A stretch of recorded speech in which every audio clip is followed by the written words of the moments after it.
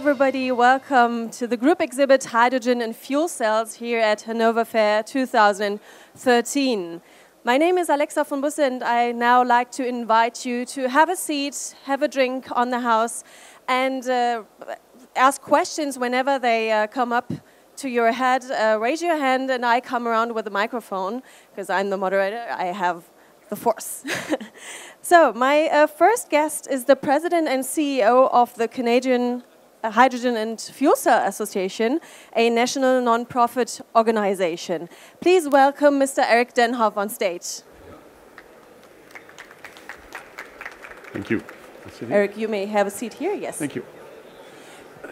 Eric, I read something on your website that I liked. Um, you name yourself the collective voice of the Canadian hydrogen and fuel cell sector. Yes. So, um, what and who do you raise this voice for?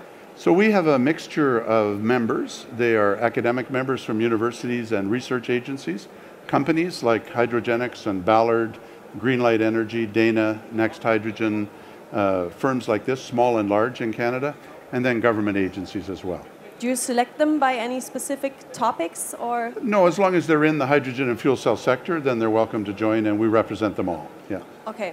Um, what are, in your opinion, the most uh, important benefits of hydrogen and fuel cell systems? Just give us uh, the Canadian perspective. Yeah, I think it very much depends on where you are geographically and what your situation is with regard to uh, uh climate and greenhouse gas and this sort of thing. So in in Canada, interestingly, almost all of our product is exported. Mm -hmm. Very little fuel cell or uh, hydrogen is used in Canada. In the oil and gas industry, we use quite a bit of hydrogen, but uh, Ballard exports most of its product, Hydrogenics does, Dana does, and others. Part of the reason is that uh, in Canada we have a lot of very cheap hydroelectric power and very cheap gas. Mm -hmm. So where the fuel cells are really uh, having an impact is in material handling, uh, in forklifts and things like this in the United States, or in uh, renewables like wind to uh, hydrogen and into the gas system like in Germany, mm -hmm. or in Japan or Korea or places like that. So. Okay. Yeah, we have to keep in mind that Canada is a very large country. um, it's not comparable to Germany. So um, could you um, tell in brief what you use where and what, what kind of uh, energy supply is good for what region? Yeah, Canada, his uh, internal energy supply is uh, predominantly hydroelectric. We have huge hydroelectric, very cheap, uh, the equivalent of about, uh, um, well, about six cents Canadian, so uh, a few, a few uh, not, not even one, you know, a quarter of a euro for our power from the historic hydroelectric. And then we have a lot of cheap gas, about less than three euros uh, compared to you know quite expensive here. Okay. And we have some coal. So in Canada, most of our power on the domestic grid is hydroelectric or gas. Yes. Okay, and where do you um, put these um, different types of uh, energy supplies? Um, like a household uh, in on landscape? Yeah, yeah, for everything, for industry, for household, uh, and obviously uh, automobiles are gas, but predominantly, yeah. Okay. Um, well, when I imagine, um, I'm, my household gets mm -hmm. uh, the most of its energy um, out of a gas pipeline, mm -hmm. and it's, it's located in a city mm-hmm. center. Mm -hmm. what's the, the typical household in Canada like? Yeah, mostly from hydroelectric, and then the next biggest would be natural gas. And this is where uh, we're making some interesting progress because Germany and Canada have some similarities. You have a lot of wind power, and you have a lot of excess wind power that you have to pay your neighbors uh, to take. Mm -hmm. And so companies like E.ON uh, have contracted with Canadian companies like Hydrogenics for projects to take uh, surplus wind, create hydrogen, and put this hydrogen into the natural gas pipeline. This has several advantages. One is that it uh, is cheaper than importing the gas from Russia. Mm -hmm. And second, uh, there's some GHG benefits. Now, Canada has surplus wind in Ontario and Alberta as well, and we have some surplus nuclear. So there's the potential to take these and put them into the gas pipeline. Mm -hmm. And we're seeing a growing interest in this, and we have good technology. Yeah. Okay. Yeah, um, that's my actual question. What do you want to change about this in the future? What are your projects? What are yeah, you working we on? have tremendous cooperation with Germany. For example, on the automobile side, Germany has invested over $50 million uh, by Mercedes in the world's first automated fuel cell manufacturing plant in Vancouver, in Canada.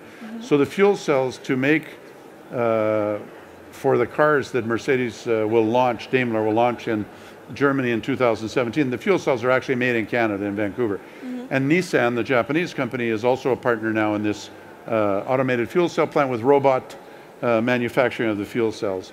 At the same time, Ballard Power in Canada has just signed an agreement with Volkswagen to uh, produce uh, the next generation of fuel cell for Volkswagen. So we on the automotive side are doing quite well. Uh, Hydrogenics and Ballard both, both make buses. So you see in Cologne buses that are powered by Canadian fuel cells and, and German buses. You see in Amsterdam, coming in London and in Oslo, Ballard fuel cells in those buses. We see with electrolyzers, Hydrogenics selling electrolyzers to E.ON. Mm-hmm. Um, Dana sells product and Greenlight Energy here. So we have a long standing relationship with Germany mm-hmm. and increasingly with other places in Europe as well. So. Okay. Mm. Do you think this automobile technology is the one that sells first, or why do you think that's? You know, the automotive one is really interesting because uh, the the most successful car Toyota ever made in history was the Prius. Mm-hmm. The chief designer of the Prius is now the chairman of Toyota. So he has said publicly uh, that Toyota is making their bet on hydrogen fuel cell cars. Mm-hmm. They will launch in 2015. Hyundai's owner, uh, chairman, launched the first thousand they're producing this year of Hyundai fuel cell cars, and Mercedes, Nissan, Ford will come out in 2017. Others are, uh, are working on it. So it will be uh, slow, consistent development, but it will, for sure, it will exceed battery electric within uh, five or six or seven years. Uh, and then we'll see if it's competitive with everything else. Mm-hmm. Yeah. Okay. Are there any questions from the audience until now? I think not at the moment. Um, so, yeah, you talked about a lot of corporations worldwide. Mm-hmm. Um, how do you see yourself um, compared to other countries um, in terms of moving, I'd like to call it moving into a new energy era? Mm-hmm.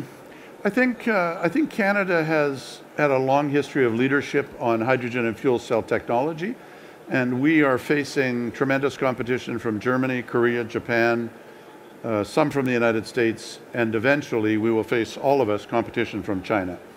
So the question is where can Canada maintain its leadership role? Clearly, on the automotive side, we still have very strong leadership, or Germany and Japan and other countries wouldn't be coming to Canada to make their fuel cells. Yeah. We have very strong leadership on the electrolyzer side, although all kinds of companies from Siemens to McPhy and others are, are, uh, are pushing hard there. And we have uh, very, very good uh, leadership on backup power and stationary power. You know, China Telecom buys our backup power for telecom. Uh, so does Indonesia and all kinds of other countries, India. So I think we're doing quite well there. But uh, Germany is a very friendly and aggressive competitor, and uh, obviously is investing. A, Germany is investing a lot more money in things like fueling stations than Canada, mm-hmm. and Germany is investing very heavily in renewable energy to hydrogen to gas.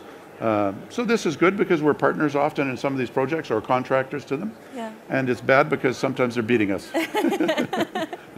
I'm sorry. no, it's a competitive world. It's okay. And another question Win that came to my mind: um, How is government um, supporting you and supporting? Yeah, our governments have been pretty good. You know, the Canadian government has uh, supported uh, the development of research and technology, both at the university level and uh, and the research and commercialization level.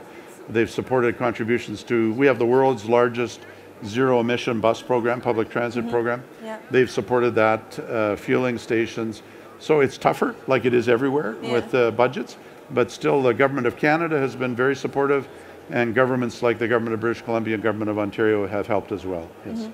So you think they're really believing in this uh, new energy era, like yeah, I think so. You know, Germany? yeah, they they obviously have lots of competition from other technologies, and so they're careful. Mm-hmm. But we still have lots of support. Yeah, it's good support. Okay. Yeah. Well, thank you, Eric. Thank you. Um, I think we already came to the end of our interview. Um, yeah, um, like, oh, we have a question coming up right okay. now. I'll be with you. Theo Holtom, Green Hydrogen Consulting. I'd like to ask, um, what is the capacity of your automated factory in Vancouver, I think you said?